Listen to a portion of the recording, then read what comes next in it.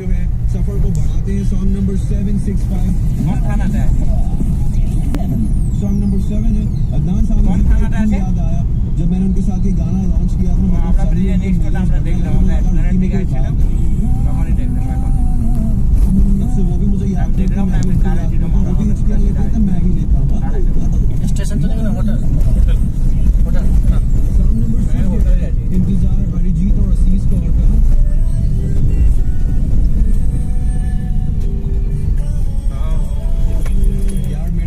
खुद ही दुर्घटना हो गई। मैं उस दिन इंतज़ार करता रह गया कॉफ़ी शॉप में प्रोड्यूसर का मेरे से टाइम लिया मैं कुछ साथ में करते हैं।